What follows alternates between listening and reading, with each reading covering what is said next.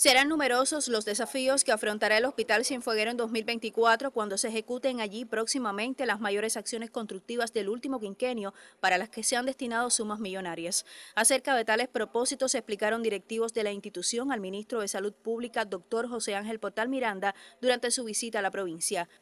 Junto a varios dirigentes del MINSAC, el titular del gremio tuvo detalles de las inversiones que se realizarán en el sistema de redes hidrosanitarias y además reparaciones que facilitarán el suministro de agua para disminuir por ese concepto el pago de unos 3.5 millones de pesos. Podemos avanzar muchísimo en la infraestructura, por eso lo logran sus trabajadores.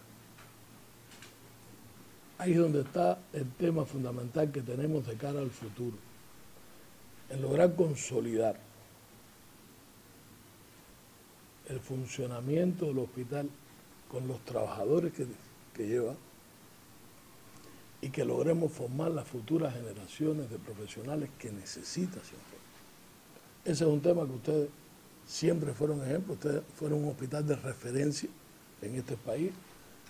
Aquí venía todo el mundo a aprender, aquí venían muchos de muchos lugares a aprender en esta institución. Yo creo que ustedes han ido trabajando en ese sentido pero tenemos que consolidarlo y amarle este año, que es un aniversario cerrado, para que el hospital siga creciendo en el orden de la calidad de los servicios que se abrieron.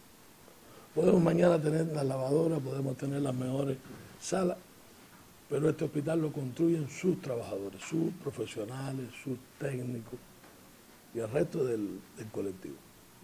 Y esa es la mayor inversión que ustedes tienen que cuidar siempre, buscando el máximo de calidad de lo que tenemos que hacer.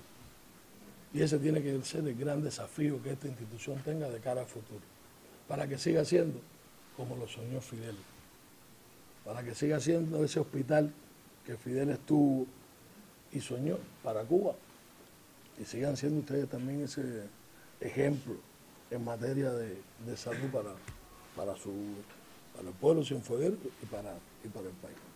Al encuentro asistió el representante en Cuba de las Organizaciones Panamericana y Mundial de la Salud, doctor Gerardo de Cosío, que tuvo la posibilidad de conocer los proyectos más inmediatos de este centro colaborador de la OPS-UMS con aportes a la región de las Américas. Mayelín del Sol, Notisur.